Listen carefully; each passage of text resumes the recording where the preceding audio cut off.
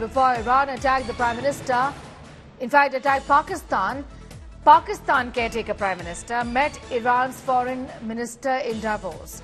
Iran, remember, has struck terror group bases in Pakistan. Pakistan has also responded to that, saying that this was unprovoked.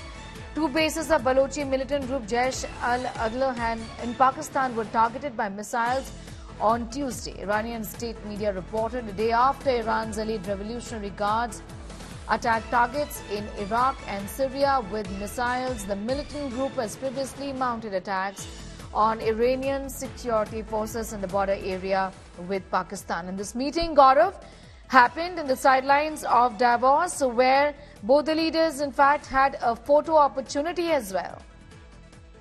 And that picture speaks a thousand words. Just look at that picture. Pakistan's Prime Minister is sitting very timidly in one corner, uh, very defensive, and uh, you know he's the he's the, of course the caretaker prime minister of Pakistan, Anwarul Kakar. The way he's sitting and how proudly is Iran's foreign minister sitting uh, because Iran has actually bombed Pakistan and bombed terror bases in Pakistan. It's a huge blow to Pakistan. It's a very major attack that has taken place. Multiple rockets, multiple missiles and drones were fired in the Panjgur area.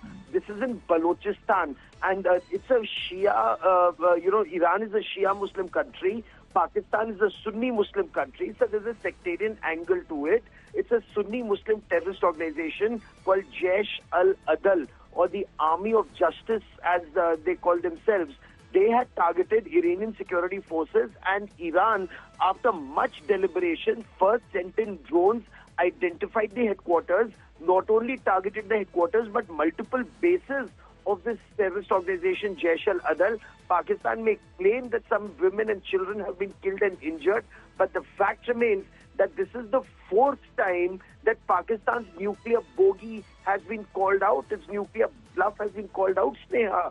Pakistan is a nuclear weapon country and Kargil war in 1999 India's surgical strike in 2016, India's airstrikes in 2019 in Balakot and Khyber Pakhtunkhwa, and now Iranian airstrikes have completely exposed the Pakistani armed forces. Neha. Right.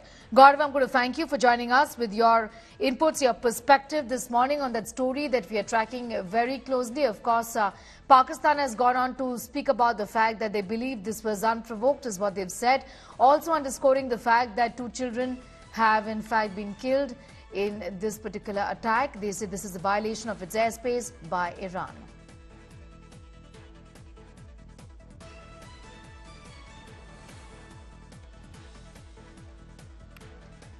More international news this morning. Israel-Hamas war has entered a new era after US and British warplanes and ships launched dozens of attacks across Yemen.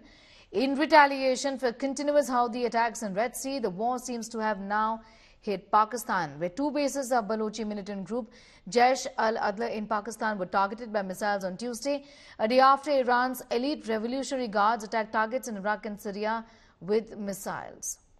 In fact, the militant group previously mounted attacks on Iranian security forces in the border area with Pakistan.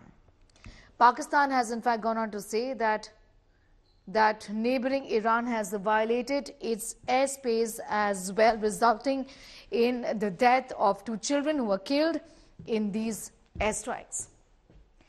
Three girls were also injured, and this hours after missiles by Iran targeted bases of Jaish al-Adl. Islamabad has warned the incident could have serious consequences and was completely unacceptable in a statement that has now been released by Pakistan's Foreign Office spokesperson.